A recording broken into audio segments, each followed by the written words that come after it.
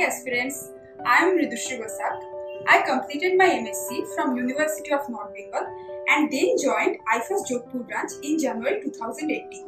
After that, I continued my study from July to December 2018 in IFAS Kolkata branch. Before joining to IFAS, I was doubtful like if I could qualify NET. But the teachers of IFAS helped me to believe in myself and qualify NET. I qualified CSIR UGC NET JRF June 2018 with All India rank 2 and December 2018 with All India rank 11. Later on, I qualified GATE, UGC, CSIR NET and uh, then West Bengal SET, ICAR NET etc.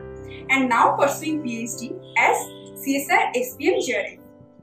So guys, you can uh, believe in IFAS teachers and study hard to achieve your goals.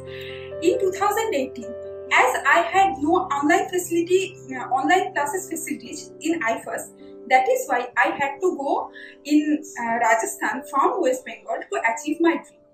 But now you can achieve your dream from your home only with IFAS online classes with the same faculties who taught us. So guys, just keep a faith on IFAS team and study hard. Then no one can stop you from being successful and from achieving your goals. Thank you everyone and all the best.